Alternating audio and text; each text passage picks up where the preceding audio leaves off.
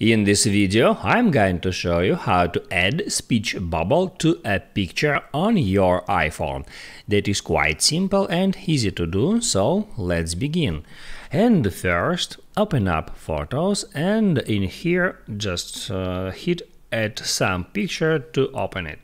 Next, all you have to do is right here hit on edit button and then hit add that pen button at the top right corner.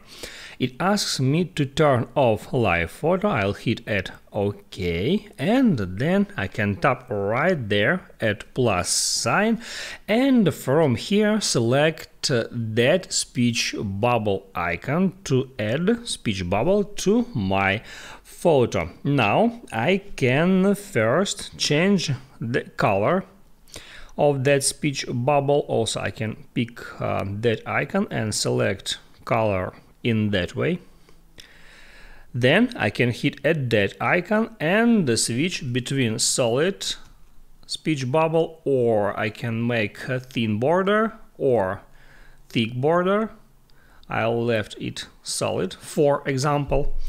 Also then I can, uh, by dragging these dots, increase that bubble's size, or I can, uh, by dragging these dots, I can change size horizontally, or by dragging that uh, dots, I can switch size vertically. Also, I can uh, drag that dots to change the position of that thing I can do it in that way and then I can just place that bubble in any way that I want. After that I can hit on done and uh, then I can for example open up that mode again. Here select text and then I can add that text field. Type in any text that I want after that, I can select the color of this text and then I can place it in that uh, speech bubble and then hit on done. That's it.